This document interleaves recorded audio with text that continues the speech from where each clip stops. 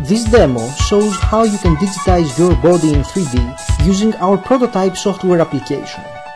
All you need is a Java-based web browser and Microsoft Kinect sensor. You can use this algorithm to track changes in your body, compare it with the structure of a healthy subject, and take various measurements that can be used in many applications for monitoring obesity. More details can be found in our publication.